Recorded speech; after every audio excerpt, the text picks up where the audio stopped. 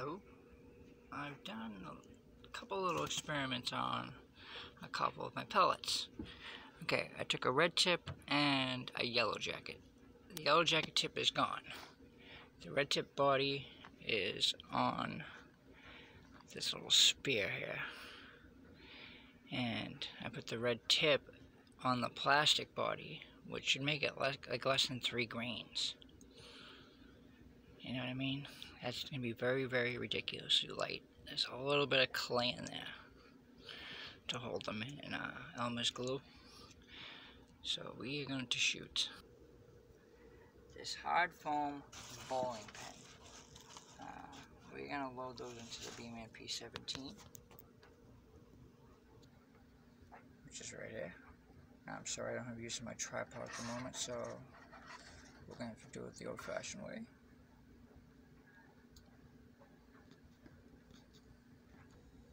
First up is that spear. Fell right in. I mean, should have hit pretty good as a pretty heavy uh, seven, well, seven grain body at least. So let's see what it does. Oh, my lord! It passed right through.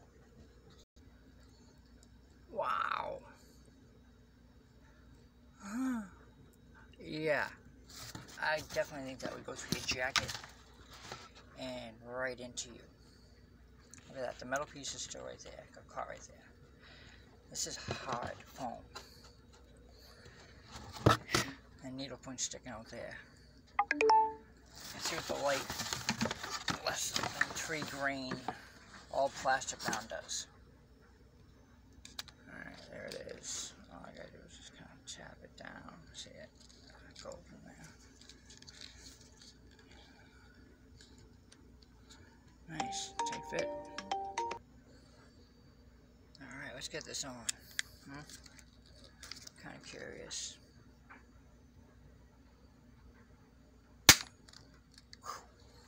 I left a mark. Ooh, it's too light. Got stuck in there somewhere.